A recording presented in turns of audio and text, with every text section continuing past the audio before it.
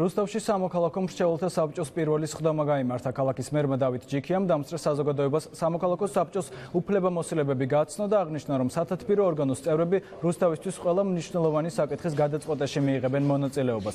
შეხვედრაზე ქალაქის მერმა 2015 წელს განხორციელებული და მიმდინარე წლის დაგეგმილი პროექტების შესახებ ისაუბრა. შეგახსენებთ, მრჩეველთა საბჭო ადგილობრივი თვითმმართველობის კოდექსში შეტანილი ცვლილებების საფუძველზე შეიქმნა. ახალი რეგულაციებით გაიზარდა მოქალაქეთა ჩართულობა მუნიციპალიტეტის ორგანოთა საქმიანობაში.